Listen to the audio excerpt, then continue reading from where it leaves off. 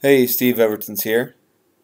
In this quick example, I'm going to show how to visualize case volumes at a very high level um, using a combination of a line graph and a crosstab. And what we're going to do is this is, again, I'm an AML manager, and this is something that maybe on a monthly basis, this is a report I might give to my management or the board or the OCC or, or really anybody that kind of wants to see at a very high level, at the monthly level, um, how are we trending, uh, what are the different volumes of cases we're having. So you can see here on the left, I've got a bar or a line graph, and each line represents a year.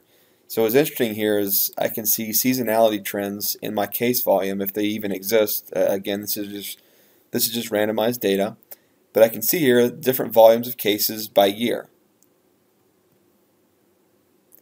And just like a number of reports we've seen as a part of our AML reporting deck, I can highlight things and things will update here on the right.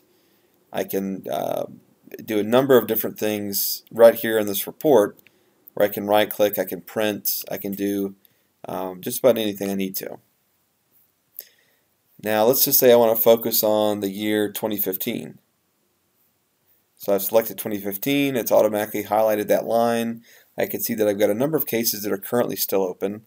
These are the volume of closed cases. This is the case life cycle or average case li case life cycle. Excuse me. Um, and what I can do from here is I can, if I want to to drill into these, you know, 167 cases, I can double click.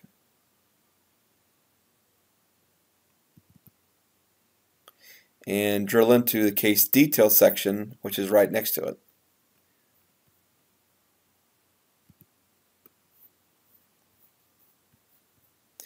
Or if I want to just look at the year 2012, and I want to say for, two, for 2012, let's focus on structuring cases. I can use my crosstab to drill into it even further here and break it down to a, a subcategory level. And again, I can drill into any any record here and see the specifics. I can go up back uh, using my hierarchies here. I can look at SAR 90s. If I want to break down those, Again, same type of concepts.